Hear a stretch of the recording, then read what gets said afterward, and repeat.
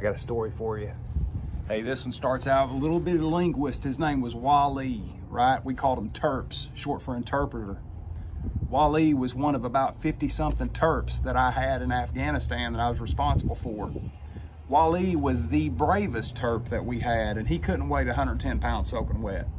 My buddy Dave told me a story about taking Wali out in a firefight with him one time. He said they got ambushed on this road and there was machine guns cracking down all around them and mortars dropping just right right where they were at.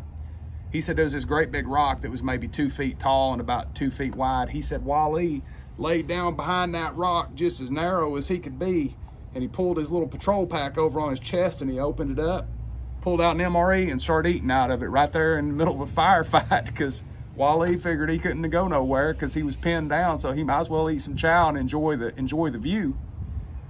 I went to Wali one day and I said, and this was shortly after that firefight, I said, hey, Wali, I'm gonna need you to go back up to uh, Gulistan where you got in that firefight at last week. They're asking for you. Wali, he looked a little nervous. He said, sir, Gulistan, it's a bad place. I said, yeah, I understand that, Wali. I'd really appreciate it if you go. And he said, he rubbed his beard for a minute. He said, sir, would you do something for me? I said, anything, Wali. And he said, can you get me a new patrol pack? And I said, sure, Wali, I'll get you a new patrol pack. So we went right down to supply and got that guy a patrol pack. You know, that's all, all, all in the world he wanted was a patrol pack. Because turns out the one that he had had in that firefight had got all drug up and probably had a couple of holes in it and it was all ripped to pieces. He just wanted a new patrol pack.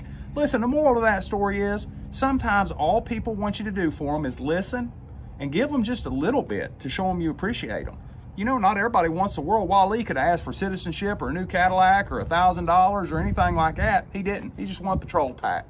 So listen, know what your people want, know what motivates them, and just take care of them and listen to their needs. Semper Fidelis, talk to you around the bend.